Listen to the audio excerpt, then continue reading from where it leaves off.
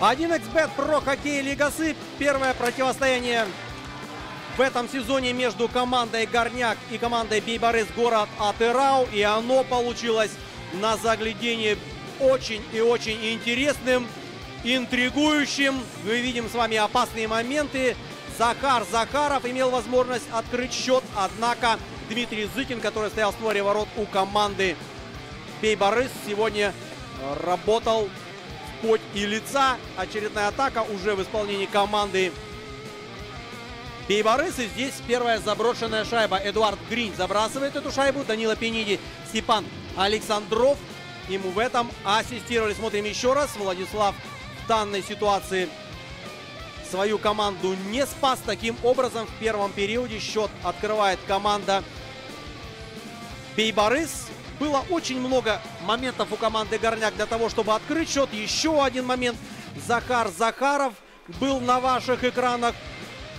Но вот э, против заброшенных шайб свои ворота был Дмитрий Зыкин.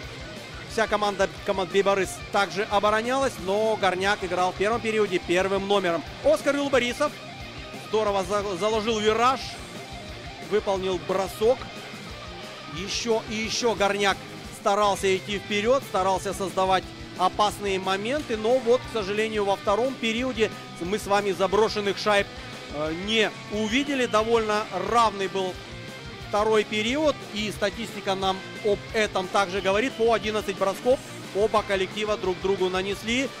Захар Захаров, передача Платонов. И здесь великолепный сейп Дмитрий Зыкин. Еще разок. Насладимся этим моментом. Платонов.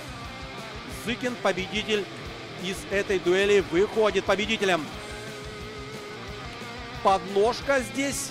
Скатов оказался на льду. Кунишников. Опасный момент мог добавить Волгин, но Владислав Нурек также был против для того, чтобы шайба в створ ворот проникла. Немного удалений было сегодня по ходу всей игры. Довольно дисциплинированно команды старались отыграть сегодняшний матч. Прекрасно понимали, что удаление дорогого стоит. Но вот опасный момент уже в исполнении Вячеслава Шарипова мы с вами видели. Имел возможность Вячеслав отличиться, но переиграть Дмитрия Зыкина не получилось в этом моменте. Ну, зато здесь здорово забрасывает шайбу Анатолий Шишов, Данила Платонов, Захар Захаров ему в этом ассистирует. Таким образом, Горняк сравнял счет. Это уже третий период. Да, здорово, Захар Захаров передачу перехватил в средней зоне. Далее уже, конечно же, Данила Платонов, Захар Захаров также помогли Анатолию Шишову. Ну вот, дорогие друзья, таким образом счет был э, срав... сравнялся счет. Ну а здесь заброшенная шайба Айдара Галимова. Э, эта шайба была заброшена в меньшинстве. И те слова, что Горняк умеет и знает, как забрасывать в меньшинстве, подтвердились. Сергей Лазарев, Оскар, Юл Борисов ему в этом ассистировали. Зыкин капитулирует в этом моменте. Ну и стало, конечно же, понятно после этого, что подопечные Артема Владимировича Аргокова сейчас устроят э, финальный штурм. Так оно и э, получилось. Бейборыс нагнетал. В завершении третьего периода Зыков створ ворот покинул. Однако вот в этом эпизоде э, Денису Скатову забросить не удалось. Ну вы сами все видите, насколько рад сам э, Владислав Нурек, как э, рады партнеры по команде. Очень тяжелая игра, но очень и очень интересная. Таким образом, вывеска сегодняшнего дня себя оправдала.